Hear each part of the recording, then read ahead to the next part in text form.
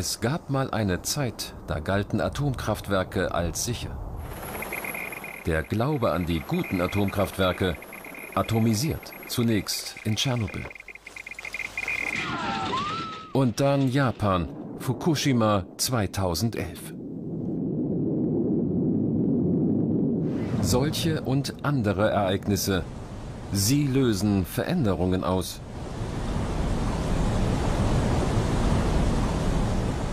Die Welt, von der wir leben, unsere Umwelt, unsere Erde, wir können sie gestalten, so oder so, wenn wir denn genügend wissen.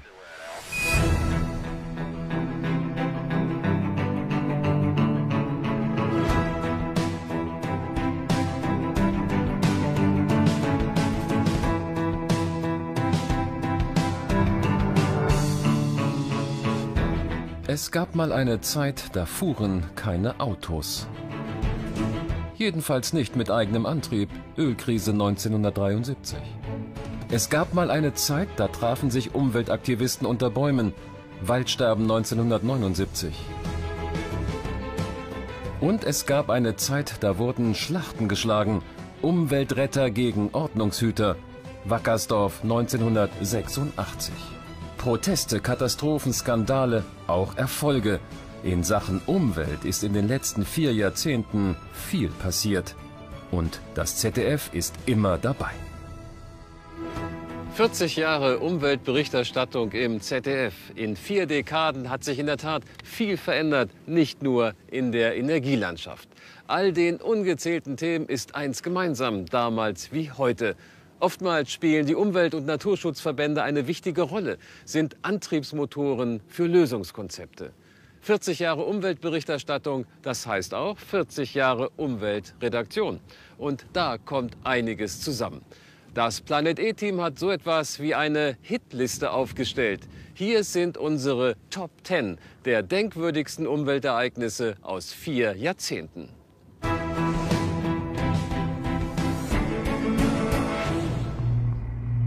Anfang der 80er Jahre schocken solche Bilder ganz Deutschland. Es sind Bilder von toten Bäumen im Schwarzwald, Harz sowie im Bayerischen Wald. Besonders betroffen die Höhenlagen. Ein neuer Begriff macht Karriere. Waldsterben. Schwefelhaltige Abgase aus Industrie und Fahrzeugen sind die Ursache. Die aggressiven Luftpartikel gehen als saurer Regen nieder, führen zum langsamen Tod der Bäume. Besonders betroffen sind die Tannen. Diese Beobachtungen veröffentlichen Förster und Wissenschaftler Ende der 70er Jahre in Vorträgen sowie Fachzeitschriften. Das löst bei vielen in der Gesellschaft Angst aus. Jung und alt schließen sich Umweltorganisationen an, wie Robin Wood oder Greenpeace. Ihre Protestaktionen sorgen für Berichte im ZDF und für Schlagzeilen in den Printmedien. Die Titel sind provokant.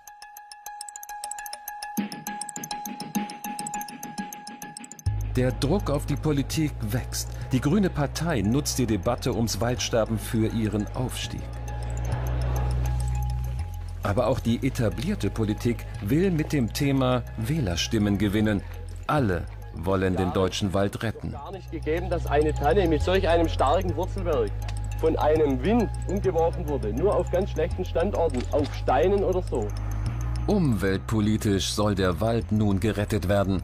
Rauchgasentschwefelungsanlagen in der Großindustrie werden Pflicht. Ebenso der Einbau von Katalysatoren in Fahrzeugen. Kostspielige Kalkungen sollen den sauren Waldboden neutralisieren. Zudem gibt es jährlich einen Waldschadensbericht, Daraus macht die Politik im Laufe der Jahre aber den Waldzustandsbericht. Das klingt besser. Einer, der das Phänomen Waldsterben intensiv miterlebt hat, ist der ehemalige Forstbeamte Wolf Hockenjos. Wie haben Sie eigentlich damals die Krisensituation im Wald empfunden?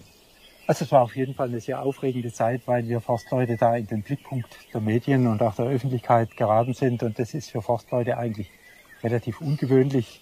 Also musste man sich erst äh, ein bisschen zurechtfinden. Man hatte die Schäden Äh, man hat als Fachmann bei, speziell bei der Weißtanne sehr deutlich gesehen, dass da was nicht stimmt. Man hat einerseits den Druck der Umweltverbände äh, gespürt und auf der anderen Seite musste man sich als Beamter ja auch eine gewisse Zurückhaltung und Mäßigung auferlegen. Wir stehen ja hier an einer solchen Stelle, wo auch das Waldsterben ja, wo Sie es auch beobachtet haben. Wie würden Sie das heute einschätzen? Wie ist die Situation im Wald jetzt? Also ich denke, der Wald hat sich deutlich erholt. Die Tanne speziell, die das Hauptsorgenkind war damals äh, als besonders schwefelempfindlich, die hat sich sehr gut erholt. Äh, die Fichten und die Buchen weniger. Da behaupten die Experten im Augenblick, dass sie sich nach wie vor in einem schlechten Zustand befinden. Das Interesse an den Schäden ist in den letzten Jahren abgeklungen. Doch der Wald steht noch immer unter Druck. Klimawandel und Borkenkäfer machen den Bäumen zu schaffen. So fordern die Umweltverbände von der neuen Bundesregierung, sich stärker für die natürliche Waldentwicklung einzusetzen. Gestorben ist unser Wald nicht. Aber es wäre ein Fehler, ihn aus der Pflege zu entlassen.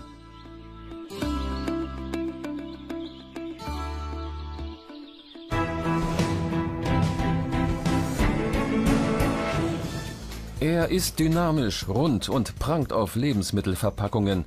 Der grüne Punkt. Im Juni 91 hält er Einzug in unseren Alltag und macht seitdem die Deutschen zu Weltmeistern der Mülltrennung. Ausgangslage ist eine neue Verpackungsverordnung. Sie ist notwendig, weil die Müllberge in den 80er Jahren rasant ansteigen. Die Menschen jedoch wehren sich vielerorts gegen neue Deponien und vor allem gegen Müllverbrennungsanlagen. Denn die Abgase enthalten krebserregende Dioxine. Entsorgungsnotstand. Die Lösung dieses Problems heißt Kreislaufwirtschaft. Abfälle werden zu wertvollen Rohstoffen, deren Recycling reduziert die Müllberge.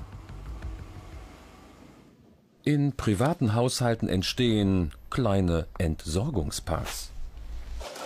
Viele Verbraucher spülen sogar ihren Verpackungsabfall, bevor sie ihn in den gelben Sack oder die gelbe Tonne werfen.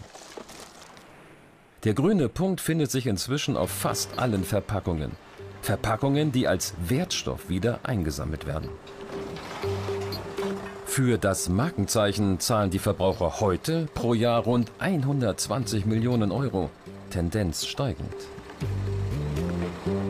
Die Umweltverbände treten seit Jahren für die Abschaffung des grünen Punkts ein.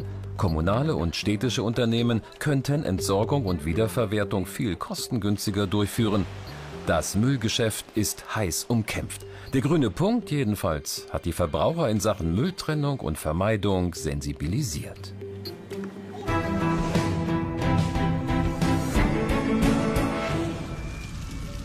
Am 1. November 1986 kommt es in einer Lagerhalle des Chemieunternehmens Sandos zu einem Großbrand. Mit dem Löschwasser gelangen 30 Tonnen eines giftigen Gemisches bei Basel in den Rhein. Der Name Sandos steht seitdem für einen der größten Chemieunfälle weltweit.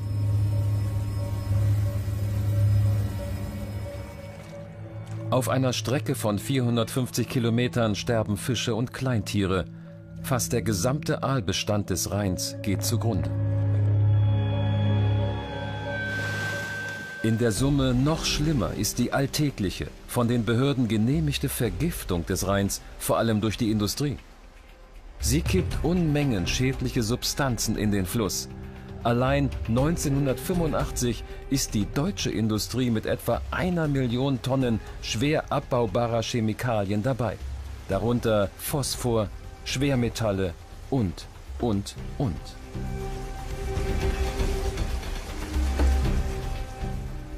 Sandos bringt das Fass zum Überlaufen.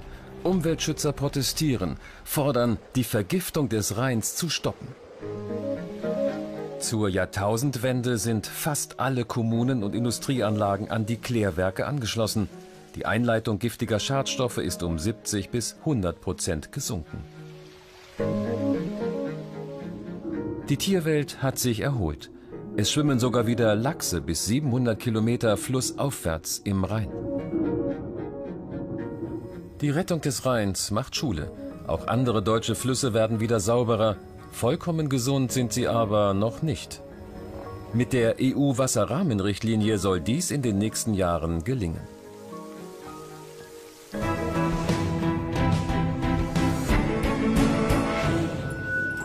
Lange Zeit hat man in Deutschland geglaubt, BSE bleibt nur auf Großbritannien beschränkt.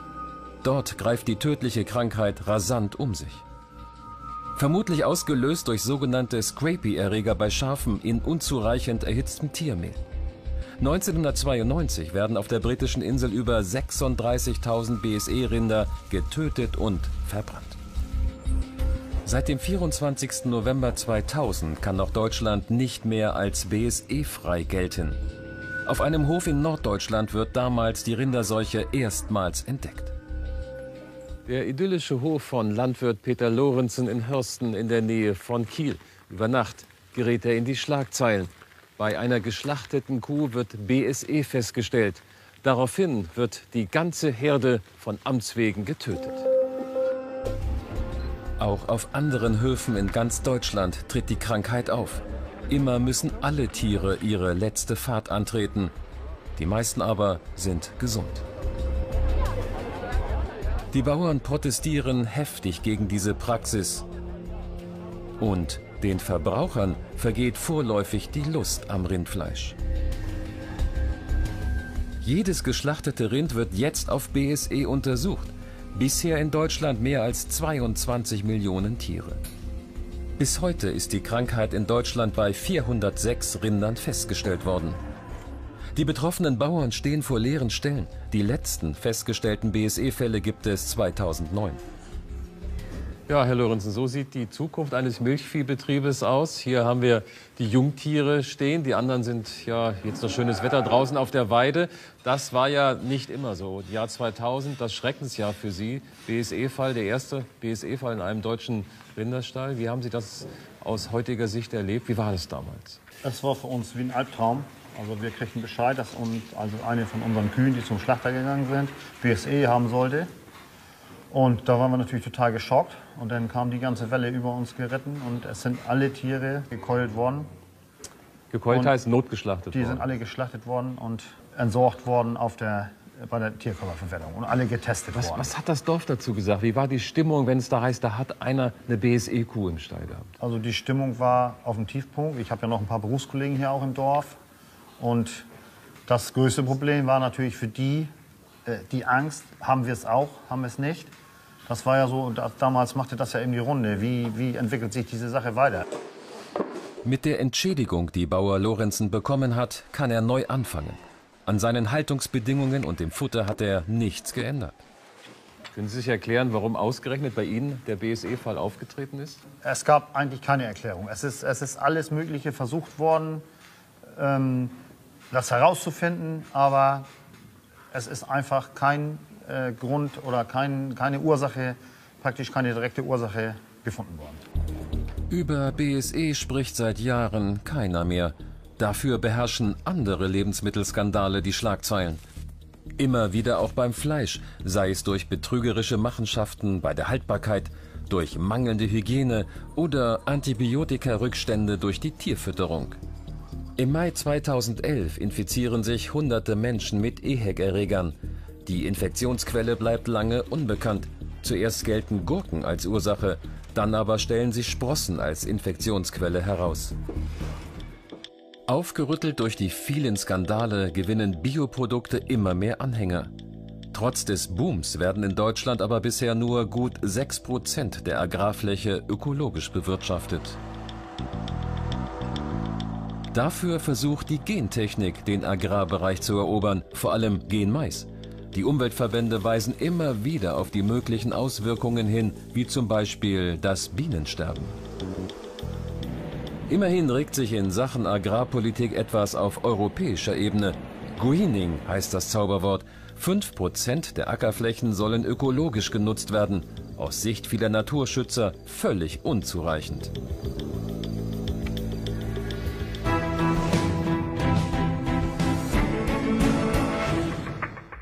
Fast 40 Jahre ist Deutschland geteilt gewesen in Ost und West. zerschnitten durch Stacheldraht, Mauer und Minen. Dann der Mauerfall. Die Grenzen lösen sich auf. Es bleibt der Grenzstreifen, in dem während der Jahrzehnte militärische Abschirmung eine Oase der Natur entstehen kann. Diesen ökologischen Wert hat Kai Frobel, Umweltaktivist beim Bund Umwelt und Naturschutz, schon in den 80er Jahren erkannt. Er hat die Idee des grünen Bandes, ein wertvolles Rückzugsgebiet für Tiere und Pflanzen, 1400 Kilometer quer durch Deutschland. Auch ausgediente frühere DDR-Staatsjagdgebiete, ehemalige Truppenübungsplätze sowie Teile der Insel Rügen werden unter Naturschutz gestellt. Maßgeblich daran beteiligt sind diese vier Naturschützer, die sogenannte Viererbande, unter Führung von Professor Michael Suckow. In den letzten DDR-Tagen ist er stellvertretender Umweltminister und sorgt mit dafür, dass bei der letzten Sitzung des DDR-Ministerrats das Nationalparkprogramm in aller Eile in Gesetzesform gegossen wird. Dadurch sind fast 11 Prozent des ehemaligen DDR-Gebietes unter Naturschutz gestellt worden, insgesamt mehr als 11.000 Quadratkilometer.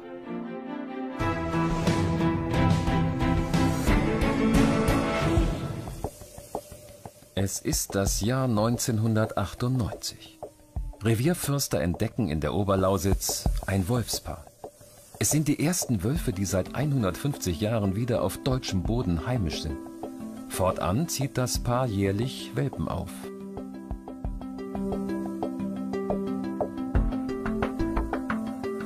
Wölfe benötigen keine Wildnis. Sie können sich gut anpassen. Aber sie brauchen große Reviere, wandern bis zu 50 Kilometer pro Tag, um Beute zu jagen. Da sie vornehmlich kranke und schwache Tiere erlegen, spielen sie eine wichtige Rolle im Ökosystem.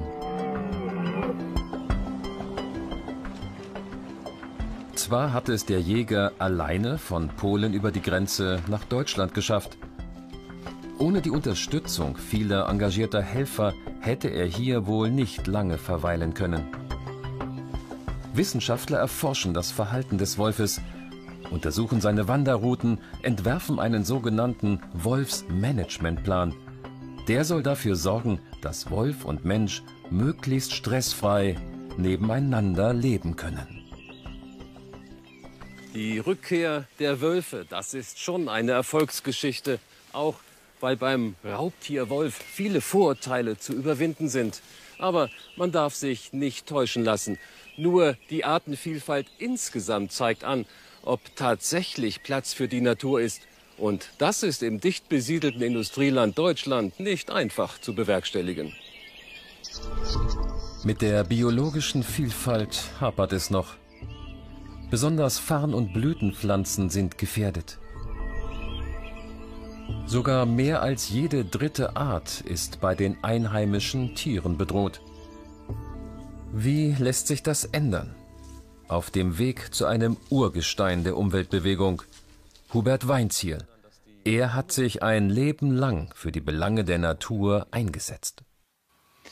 Bezogen auf den Naturschutz, auf die Umsetzung im Naturschutz, wo glauben Sie, sitzen die härtesten Gegner? Äh, ich würde sagen, heute einmal im Landverbrauch, das ist äh, Straßen- und Siedlungsbau, ja. Das ist ganz klar. Da kann man die großen Geschäfte machen. Zum anderen aber in der Landwirtschaft. Die Landnutzung wird so brutal heute gemacht, zu Lasten der Natur und zu Lasten der Mitgeschöpfe, dass man hier einfach nur fordern kann, gerade jetzt in der Umbruchphase hin zu einer neuen Agrarpolitik mehr auf biologische Methoden zu setzen. Herr Weinziegel, die Rettung einzelner Arten reicht nicht. Wir brauchen ja flächendeckend einen Artenschutz. Wie soll das im Industrieland Deutschland umgesetzt werden? Industrieland Deutschland hat noch eine ganze Reihe von Grünflächen. Ein Drittel des Landes ist Landwirtschaft, ein Drittel ist Wald und äh, da ist noch einiges da. Das ist umsetzbar, wenn man es will. Wir müssen das Leben zwischen Tier und Pflanze zwischen Schöpfung und Mensch wieder neu organisieren, was früher selbstverständlich war. Ich sage Ihnen ein Beispiel, äh, das Geschrei, wenn irgendwo ein Biber einen Baum umschreit bei uns. Das ist deshalb so groß, weil wir 100 Jahre nicht mehr gewohnt haben, mit dieser Art zu leben. In anderen Ländern ist es gar keine Frage. Also da ist sehr viel auch an Vermittlung noch offen. Aber immerhin, Deutschland arbeitet daran, dass es mit der biologischen Vielfalt aufwärts geht. Beispiel Schutzgebiete. Davon gibt es in Deutschland einige. Sie reichen von Naturschutzgebieten, die sehr strengen Kriterien genügen müssen, bis hin zu den europäischen Natura 2000 Schutzgebieten, die der biologischen Vielfalt länderübergreifend auf die Beine helfen wollen. Hier tauchen einige geschützte Tiere wieder auf, so zum Beispiel der Luchs im Biosphärenreservat Pfälzerwald, das Murmeltier im Berchtesgadener Land und die Kraniche im Nationalpark Vorpommersche Boddenlandschaft. Ein grüner Hoffnungsschimmer für Deutschland.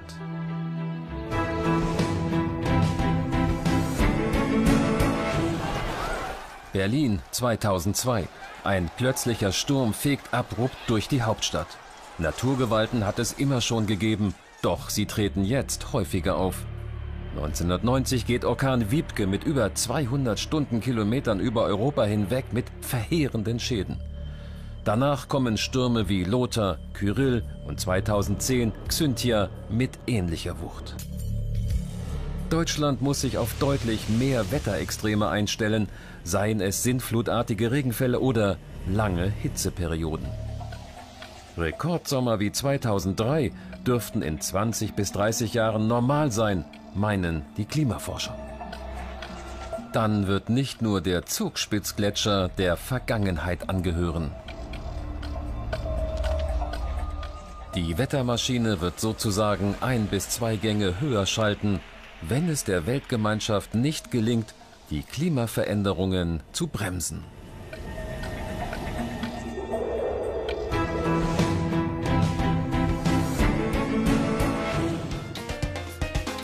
Es ist ein Bild der Hoffnung. 178 Staatschefs aufgestellt zum Gruppenfoto im Juni 92. Rio de Janeiro ist Gastgeber der ersten Konferenz der Vereinten Nationen für Umwelt und Entwicklung. Regierungen aus Industrie- und Entwicklungsländern verabschieden völkerrechtlich bindende Handlungsvorgaben, sogenannte Konventionen. Es ist ein Verhandlungsmarathon und er ist der Motor der Konferenz, Bundesumweltminister Klaus Töpfer. Als deutscher Delegationsleiter setzt er sich für globalen Umweltschutz sowie soziale Gerechtigkeit ein. Am Ende des Erdgipfels steht schließlich die Unterzeichnung der Klimarahmenkonvention, der Konvention zum Schutz der biologischen Vielfalt und der Konvention zur Bekämpfung der Wüstenbildung. Die Staatschefs versprechen, künftig gemeinsam zu handeln. Damals war der Optimismus spürbar. Der Kalte Krieg vorbei, die Wiedervereinigung in Deutschland vollzogen. Das sollte doch wohl die notwendigen politischen und finanziellen Spielräume bringen, um endlich eine tragfähige globale Umwelt- und Entwicklungspolitik in Gang zu setzen. Dieser sprichwörtliche Geist von Rio, längst ist er verflogen. Immer mehr Menschen fragen sich, welchen Sinn UN-Weltkonferenzen überhaupt haben. Beispielsweise die jährliche UN-Klimakonferenz. Ziel ist die Reduktion der Treibhausgase in der Atmosphäre denn sie heizen das Weltklima an. Doch trotz Verhandlungen steigt die CO2-Konzentration permanent an. Wirtschaftsinteressen schlagen Klimaschutzinteressen. Positiv dagegen die Agenda 21. Sie steht für kleine Projekte zwischen dem reichen Norden und dem armen Süden. Dazu zählt beispielsweise der Bau von Solarkochern und Trinkwasseranlagen. Herr Töpfer, aus heutiger Sicht, was hat die Konferenz von Rio eigentlich gebracht? Ganz ehrlich, äh, die Euphorie und die Erwartungen nach der Konferenz sind deutlich höher gewesen als das, was hinterher tatsächlich realisiert werden konnte. Sicher, wir haben die Konvention zum Klima dort verabschiedet, die Konvention zur Artenvielfalt. Es sind ohne jeden Zweifel klare Signale gesetzt worden, dass Umweltpolitik sinnvollerweise und notwendigerweise mit Entwicklungspolitik verbunden werden muss. Und es sind ebenso klare Signale gesetzt worden, dass wir in der Globalität nur eine Lösung für diese Probleme finden können. Die Welt verändert sich rasend schnell. Bevölkerungswachstum, die Klimaveränderung, die Bankenkrise. Was glauben Sie, können politische Konferenzen auf der, der UN-Ebene da überhaupt noch Schritt halten und Lösungen anbieten? Meine Erfahrung war eben immer, je mehr Teilnehmer an einer Konferenz, umso größer ist die Wahrscheinlichkeit, dass die Ergebnisse sehr mager sind. Das ist eine negative Korrelation. Man muss sehr viel schneller handeln können. Sie haben als Chef des äh, Umweltprogramms der Vereinten Nationen acht Jahre lang, zwei Amtszeiten lang in Nairobi gelebt. Wie hat das Ihre Wahrnehmung, die Wahrnehmung der Probleme für Sie verändert? Es ist klar geworden für mich, dass Armut zuallererst immer eine Armut an Energie ist, an Zugriffsmöglichkeiten für Entwicklungsfähigkeit. Und dass wir uns immer und immer wieder fragen müssen, was wir denn dazu mit beigetragen haben, dass die Entwicklungsprobleme dort so sind, wie sie sind und dass Umweltprobleme damit verbunden sind. Ich glaube, wir sehen das bis in die heutigen Tage hinein, was ich gegenwärtig vor Lampedusa äh, erleben, ertragen, erleiden muss, ist ein Beleg dafür, dass diese Welt so massiv zweigeteilt ist. Und wenn du das in Afrika miterlebst, äh, schläfst du nicht mehr ganz gut. Die Flüchtlingsströme dieser Tage stehen im Widerspruch zum Geist von Rio 92, der auch soziale Gerechtigkeit schaffen wollte. Derweil arbeitet die junge Generation an Ideen, die der Erdgipfel in Gang gesetzt hat.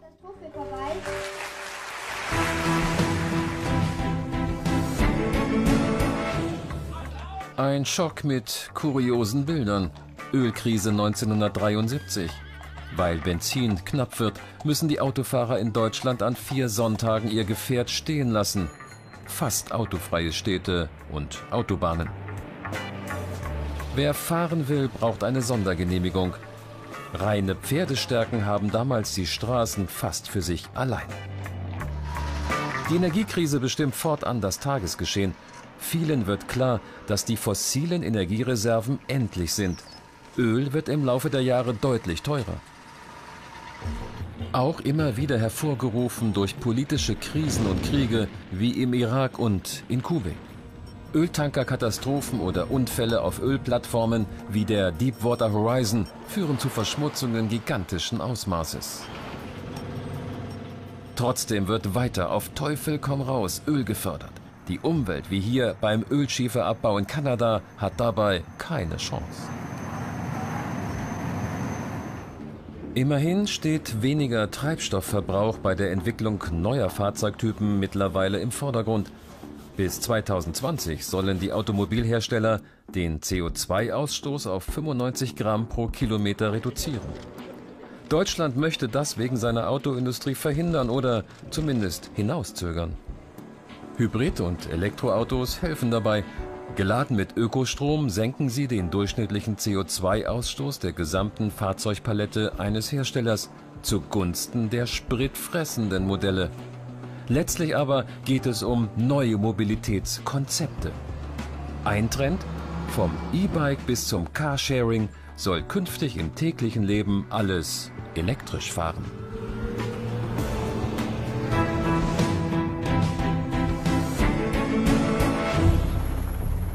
Es ist der 26. April 1986. Im ukrainischen Atomkraftwerk in Tschernobyl kommt es zur Kernschmelze. Lok 4 explodiert, große Mengen radioaktiven Staubs entweichen. Es ist ein GAU, der größtmöglich anzunehmende Unfall. Mit bloßen Händen tragen Helfer die Trümmer zusammen. Sie werden ihren Einsatz mit dem Leben bezahlen. Dennoch, der Kampf gegen die Strahlung bleibt erfolglos. Die Informationen sickern nur langsam in den Westen. In dem Atomkraftwerk Tschernobyl hat sich ein Unglück ereignet, wobei einer der Atomreaktoren beschädigt wurde. Maßnahmen sind eingeleitet worden, um die Folgen des Unglücks zu beseitigen. Den Betroffenen wird Hilfe geleistet, heißt es bei TASS. Eine Meldung, die auch die deutsche Atomwirtschaft in akuten Erklärungsnotstand versetzt. Bisher abgetan als lapidares Restrisiko. Nun also ein katastrophaler, todbringender Unfall mit Auswirkungen auch für Deutschland. Bayern ist zuerst betroffen. Die Behörden empfehlen, auf frische Milch zu verzichten. Auch frisches Gemüse ist belastet. Die Wochenmärkte bleiben leer. Ernten werden ausgesetzt. Der wirtschaftliche Schaden für die Bauern ist enorm. Angst geht um, vor allem vor Spätschäden durch radioaktive Strahlung. Tschernobyl bringt die Anti-Atomkraftbewegung mächtig in Fahrt und löst eine Sicherheitsdebatte aus.